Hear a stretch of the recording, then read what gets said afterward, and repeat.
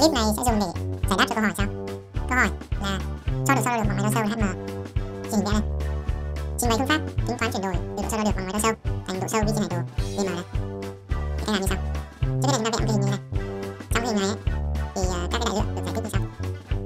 Thứ nhất là giả sử trong trường hợp chúng ta có một cái uh, mốc thì h 1 này là độ cao của mốc. Đây là h 1 lớn. H lớn h nhỏ một là số đọc ở trên nghe tại mốc. H 2 này là độ cao của cái số không. Thước nước và h hai nhỏ này, là số đọc ở trên bia tại thước nước giả sử như là thước nước có thể đọc số như là kinh nghiệm giả sử như vậy. Thì chúng ta có số đọc trên bia thước nước, là h 2 thì à, b một này là cái số đọc của nước thở tại thời điểm sau.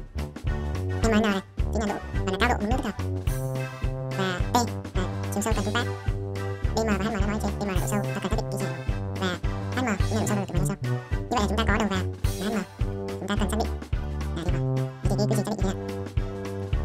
Nghĩa là chúng ta giả định là đây là cái ờ, số không của sâu từ vị trí này. Từ vị trí đây này để xác định được dm dm thì chúng ta có công thức như sau. Chúng ta thấy là dm là cái khoảng cách này. Nó sẽ được xác định bằng ờ, khoảng cách từ từ mực nước này. Đến đáy biển trừ đi cái mực nước này. Như vậy là dm sẽ bằng h m cộng với cả t. Và trừ đi cái giá trị mực nước chúng ta là trong cái công thức này. Thì hm là độ sâu thì nó đo được từ máy đo sâu rồi, chúng ta có rồi. Vâng. T này, là chiều sâu của cần thu phát thì chiều sâu cần thu phát chúng ta cũng đo được. Xác định ở trên tàu. Với giá trị t này. Như vậy chỉ cần mực nước này. Cao độ mực nước vâng. cao độ mực nước là gì? Cao độ mực nước chính là khoảng cách từ số độ sâu đến vị trí của mực nước tức thời thì để xác định được cao độ mực nước, tức thời tại thời điểm nó sâu thì chúng ta phải quan sát mực nước. Và quan sát mực nước có nghĩa là chúng ta sẽ đọc chúng ta dùng cái thước nước. Chúng ta đọc cái số đọc tại vị trí tương ứng với cả mét nước. Như vậy là chúng ta sẽ có được là cái giá trị cao độ mực nước. Thì sẽ được xác định bằng cái giá trị d một, trừ đi. Trong đó giá gì? Giả sử mà theo cái hình này? Chúng ta sẽ ra cái là d một trừ đi h 2 thì trong đó d một, là chúng ta biết là cái số đọc ở trên, số đọc của nước tương ứng ở trên, cái cái cái thước nước này. Số đọc của nước ở trên nước và h 2 này, là cao độ của thân thước nước. Như vậy là dựa vào cái sơ này, là cao độ thì bằng số đọc, trừ đi cao độ của thân thước nước. Vậy vấn đề là chúng ta sẽ cần xác định. Cái giá trị h 2 cái giá trị h 2 thì sẽ được xác định. Bằng cũng dựa vào quan hệ nào theo phương pháp đo cao vâng. thì h hai là cao độ. Là cao độ.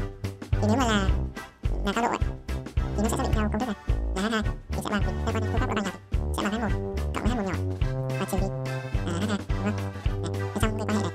Thế nhưng mà tại vì ở đây mà chúng ta nếu chúng ta tính toán theo kiểu là chúng ta tính toán theo kiểu là đây chúng ta tính toán theo kiểu là quan hệ hình học. Thì chúng ta sẽ có cái mực nước này. Cái mực nước này. Đấy. lúc đấy nghĩa, nghĩa là sử dụng chúng ta cái này chúng ta tính toán theo kiểu quan hệ về mực nước. Nên chúng ta coi cái này là cao độ.